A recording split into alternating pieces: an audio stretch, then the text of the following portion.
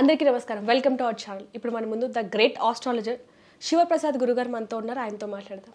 నమస్కారం గురుగారు. ఆశీర్వచనం తల్లి. గురుగారు బరెలక్క శిరీష. అంటే తెలియని వారు ఎవరు లేరని చెప్పుకోవాలి. రెండు తెలుగు రాష్ట్రాల్లో కూడా. అయితే తను ఇప్పుడు కొల్లాపూర్ నియోజకవర్గంలో నామినేషన్ వేసింది. తను నిజంగానే గెలుస్తుందంటారా? విజయం తన వైపే వస్తుందంటారా? శ్రీ మహాగణాధిపతయ నమ. ఐం మహాసరస్వత్యే నమ. శ్రీ లలితాంబికాదేవ్యే నమ. అమ్మ శిరీష ఆమె పేరు. బర్రెలక్క అని ఏదో చెప్తున్నారు. ఆమె ఆశయాలు ఆమె ఏదో కొన్ని స్లోగన్స్ ఏవో చెబుతుంది బయటికి. ఇలా ఉండాలి ఇలా చేయాలి అలా చేయాలి. ఆమెను ఎవరో కొంతమంది ప్రలోభ పెట్టారు. నాకు ఇవి చేస్తా అన్నారు అవి చేస్తా అన్నారు. నేను అవన్నీ కాదనుకున్నాను. నా వర్గం అంతా కూడా బాగుండాలి అనేటువంటి భావనతో నేను దీంట్లో ముందడుగు వేస్తున్నాను అనేటువంటి భావన ఆమె చెబుతూ ఉన్నది. ఆ మధ్య ఇంటర్వ్యూ చూశాను. ఏదో చూస్తూ ఉంటాం కదా. నేను ఎక్కువసేపు ఏమీ చూడలేదు తల్లి.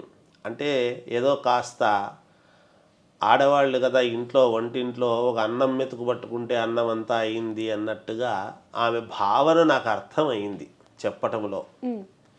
ఆమె అలా స్వచ్ఛంగా ఉండాలి మనం చెయ్యాలి అనేటువంటి అభిప్రాయముతో యువత అనేటువంటి వాళ్ళు ఈ మధ్య కాలంలో ఇలా రావడం అనేటువంటిది రాజకీయాల్లోకి మనము నిజంగా అభినందించదగ్గ విషయమే. ఆ వరకు మనము అభినందించాల్సిందే ఆమెను. అందులో ఏమాత్రము సందేహం లేదు. సరే దైవానుకూలముగా ఆ అమ్మాయి మంచి కీర్తి ప్రతిష్టలు యశోవంతముగా ద్విగుణీకృతముగా ఉండేటువంటివి ఒకటికి రెండింతలై సంతోషముగా ఉండాలి విజయము సాధించాలి అనేటువంటిదే అమ్మవారి అనుగ్రహం పరిపూర్ణముగా ఒక అమ్మాయికి ఉండాలి అనే కోరుకోవాలి. మేము కూడా అదే వాంఛతోనే ఉంటాం. అందులో ఏమాత్రము సందేహం లేదు. అయితే రాజకీయాలను మనము పరిపూర్ణముగా గమనిస్తూ ఉన్నట్టయితే ఇప్పుడు రాజకీయాల్లో ఉండేటువంటి వాళ్ళందరూ కూడా నిజంగా పేదవాళ్ళు ఎవరున్నారమ్మా? ఒక్కసారి ఆలోచన చేస్తే. నిజం చెప్పాలంటే ఎవరు లేరండి. ఎవరన్నా ఒక్క పేదవాడు పూర్వం ఎప్పుడో నలభై ఏళ్ళ క్రితం యాభై ఏళ్ళ క్రితం ఎమ్మెల్యే మంత్రిగా చేసి కూడా సైకిల్లో తిరిగాడు. ఒక గన్మ్యాన్ లేకుండా చాలా ఈజీగా తిరుగుతున్నారు అని చెప్పటము మొదలుపెట్టి దాదాపు కొన్ని సంవత్సరాల కాలం అయిపోయింది అది. ఇవాళ రోజున నిజంగా కూడా ఈ ఎవరున్నారు అలా ఎంతో ఖర్చు పెట్టి ఒకవైపు అత్యంత ఎక్కువ ఖర్చు కలిగినటువంటి తెలంగాణ ఎన్నికలు అనేటువంటివి చెప్తున్నారు. చాలా విపరీతమైనటువంటి ధనముతో కూడినటువంటి ఎన్నికలు ఇవి. విపరీతంగా ఖర్చు పెడుతున్నారు అని ఒక తట్టు వింటూ ఉన్నాం మనం. దానికి తగ్గట్టుగానే ఎన్నో చోట్ల కొంత ధనము పట్టుబడము చేయటము ఇవన్నీ కూడా మనం గమనిస్తూ ఉన్నాం నిజానికి. పోలీసులు ఇక్కడ పట్టుకున్నారు అక్కడ పట్టుకున్నారు అని. ఇటువంటి సమాజములో ఉండేటువంటి ఇదిలో ఆ అమ్మాయి నేను ఏమి రూపాయి ఖర్చు పెట్టను ఒక రూపాయి నేను ఇవ్వకుండా ఓటు సాధిస్తాను అని అంటూ ఉంది అంటే ఏదైనా దైవము అనుకూలించి ఆ అమ్మాయి నిజంగా కూడా ఇదైతే ఒక సంచలనమైనటువంటి విషయముగా భావించాలి. ఎందుకంటే మార్పు ఎక్కడో ఒక చోట రావాలి సమాజములో. ఎక్కడైనా కూడా ఎక్కడో ఒక చోట రావాల్సిందే మార్పు అనేది అలా కోరుకుంటున్నారా? ప్రజలు కూడా కోరుకోవాలి కదా. ఇప్పుడు నాయకుడు కోరుకున్నంత మాత్రాన తిరిగినంత కాలము పది మంది తిరుగుతారమ్మా.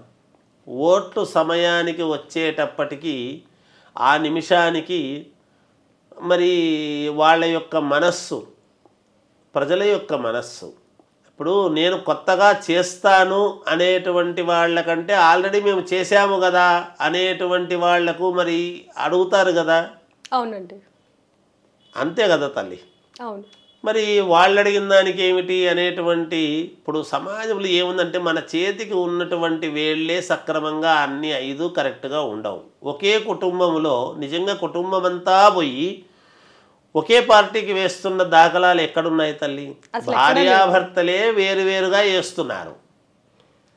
అటువంటి పరిస్థితులలో ఆ అమ్మాయి గురించి నేనేదో ఆ మధ్య మీరు అడుగుతారని నాకు తెలియదు కానీ అంత తదేక దృష్టిగా ఏదో చూసి ఏమోలే అని అంత ఇదిగా అనుకోని రాజకీయాలు అన్న తర్వాత ఎవరెవరో నామినేషన్లు వేస్తారు మళ్ళీ ఏదో వదులుకుంటూ ఉంటారు పోతుంటారు నిలబడే వాళ్ళందరూ గెలవాలి అని రూల్ లేదు ఎవరూ నిలబడకూడదు అనేటువంటిది కూడా లేదు సమాజంలో. ఎవరైనా మన భారతదేశం యొక్క గొప్పతనం అదే ఎవరైనా నిలబడవచ్చును. నిలబడి గెలవటం అనేటువంటిది ఏమిటి? ఒకవేళ గెలిచినా ఎంత మాత్రము మనకు మిగతా వాళ్ళు సహకరిస్తారు అనేటువంటిది కూడా ఉంది కదా తల్లి. ఈరోజు మనం అన్ని పార్టీలను అని నేను స్వచ్ఛంగా ఉంటాను అని వచ్చాను అనుకో నాకు సహకరించాల్సిందే ఆ పార్టీ మనకు సంబంధించినటువంటి ఎవరికో ఎవరికి మళ్ళీ మనం మద్దతు తెలిపి వాళ్ళ యొక్క ఇది కోరుకోవాలి కదా. సహకరిస్తారా? పార్టీకి సంబంధించినటువంటి వాళ్ళ వాళ్ళను పెట్టి సహకరించమంటేనే సహకరించని రోజులు ఇవి. అలా నిజంగా అందరికీ సహకరించి అన్ని మూలలా ప్రపంచమంతా బాగు చేసి ఉంటే అలా ఎవరికీ సాధ్యం కాదు. ఏ సీఎంకు ముఖ్యమంత్రికి కూడా అసంతృప్తి లేకుండా నేను పరిపాలిస్తున్నాను అనేటువంటి విషయం ఏ ముఖ్యమంత్రికి కుదరదట్లా. ఎంత మహానుభావుడే దిగి వచ్చినా. ఆనాడు రామరాజ్యము అని రాముడు పరిపాలించినటువంటి చోట కూడా ఎవరో ఒకరు ఇద్దరు అలా మాట్లాడుకునేటువంటి వాళ్ళు ఉన్నారు అని మనము పురాణాల్లో చదువుతూ ఉన్నాం. ఇది మానవ జీవితం. అందరినీ మెప్పించగలిగినటువంటి శక్తి ఎవరికి ఉంటుందమ్మా? అందుకని ఇది ఆమె నిర్ణయం అనేటువంటిది ఆమె వరకు ఆమెకు కరెక్ట్. ఆమెకు భగవంతుడు మేలు చెయ్యాలి అనేటువంటిది మనము కోరుకుంటూ కూడా ఈ ఆమె సంగతి మరి దైవానికి వదిలిపెడితే మంచిదని నా అభిప్రాయం. అంతా ఏదో ఆమెను అంత బ్రహ్మాండంగా గెలిపిస్తారని నేనైతే అనుకోవడం లేదు తల్లి. ఎందుకంటే ఆమె వెంట తిరిగేటువంటి ఏదో ఒక యాభై మంది అరవై మంది ఓట్లేస్తే అవుతుందిలే అని అనుకుంటే అది ఎంతవరకు మరి మనకు అంత నాకు అంటే మామూలుగా ఆ అమ్మాయి గురించి ఆ ముఖం చూసి ఆమె మాట్లాడేటువంటి విధానం ఆమె ఆశయాలు మంచిదే ఆమె ఆలోచన మంచిదే. ఆమె రావడము మంచిదే. రాజకీయాల్లోకి రావచ్చు. ఎవరు రాకూడదు అనేది ఏం లేదు. వస్తే నిలబడటము నిలదొక్కుకోవటము ఎంతవరకు అనేటువంటిది అక్కడ కావాల్సింది. అది కొంచెము తక్కువ అని నా అభిప్రాయం తల్లి.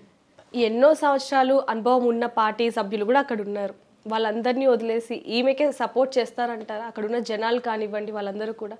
నేను అదే కదమ్మా చెప్పాను. నేను చెప్తున్న కారణం అదే.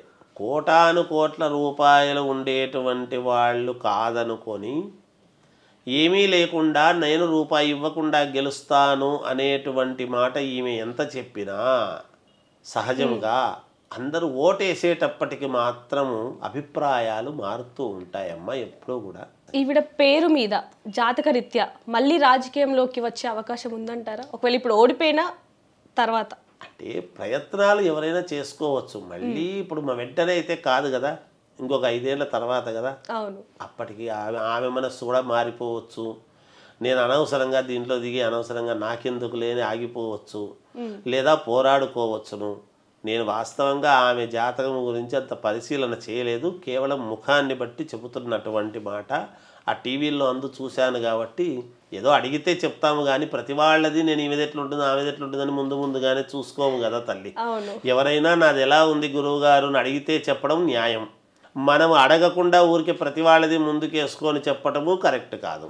అలాగని నేను ఏమంటున్నానంటే ఉన్న పరిస్థితుల దృష్ట్యా ఇప్పుడు ఉండేటువంటి పరిస్థితుల్లో రాజకీయాల్లో ఎవరు రావాలి ఎవరు రాకూడదు ఎలాంటి వాళ్ళు రాగలుగుతారు? విపరీతముగా ఖర్చు పెట్టి చేసినా కూడా వాళ్ళకి కాకుండా పోటీగా ఇంకొకరికి ఇస్తూ పా టికెట్లు ఇచ్చి చేస్తూ ఉండేటువంటి రోజులు ఇవి.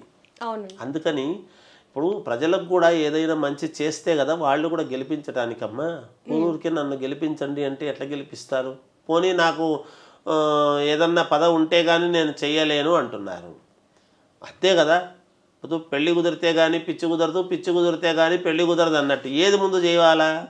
అక్కడే మీమాంస. అందుకని మేము చేస్తున్నాము కదా అనేటువంటి వాళ్ళు ఎంతోమంది ఉంటారు. ఎవరిది తప్పు కాదు కదమ్మా. ఈరోజు ధనం మూలం మిదం జగత్ జగత్ అంతా కూడా ధనము గురించే నడుస్తూ ఉన్నది. అందుకనే అత్యంత ధనముతో కూడినటువంటి ఈ ఎన్నికలు అని ఒక తట్టు చెబుతున్నారు కదా. వాళ్ళు అనాలిసిస్ లేకుండా చెప్పరు కదా తల్లి. మరి అలా చెప్తున్నప్పుడు నేను రూపాయి ఖర్చు పెట్టకుండా నేను రాగలుగుతాను అంటే అంత స్వచ్ఛంగా ఎక్కడున్నారు? సమాజంలో అలా ఉంటే ఎప్పుడో బాగుపడేది కదా ప్రపంచం. ప్రజలు అలా లేరు.